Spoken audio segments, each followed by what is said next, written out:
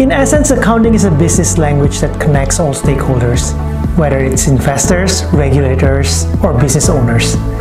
With the continuous globalization and increasing financial market complexities, the market is essentially calling for accounting standards to become more transparent, accountable, and comparable. These three new accounting standards are expected to do just that. A globally recognized platform that will drive predictive values and provide more transparent information to all stakeholders. And at PwC, we are leveraging the digital technology to help financial statement users comply with the complexities of these international financial reporting standards. First, we have the IFRS 9 Expected Credit Loss or ECL calculator.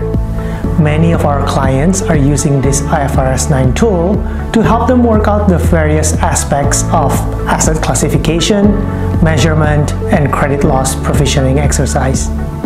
They find this tool to be useful in carrying out real-time analysis, ensuring regulatory compliance, while it also helps them understand the various aspects of macroeconomic and credit parameters that are impacting their credit qualities.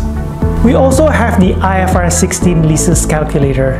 This tool provides accurate, reliable, and cost-effective accounting solutions for all types of leases. Lastly, we have the IFRS 17 Insurance in a Box, which is designed specifically to meet your latest insurance reporting requirements. IFRS 17 in a Box offers various deployment options, whether it's on-premise or cloud solutions. Speak to us to discuss how you can use our PwC IFRS 9, 16, and 17 technologies to better help your organization.